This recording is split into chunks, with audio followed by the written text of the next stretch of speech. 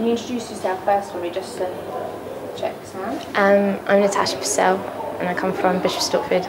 Great. Okay, so Kevin. How are you finding World Youth Day so far? Um, I if I'm honest, I'm really, really enjoying it. I think it's a fantastic experience from all people from all countries coming together. And the fact as a group here, um, 150 people gathering together is an incredible experience because no one knows each other. However, as we come together in faith and that understanding of why we are here, all of us are able to, um, I don't know, just become brothers and sisters in Christ, even though we don't know each other.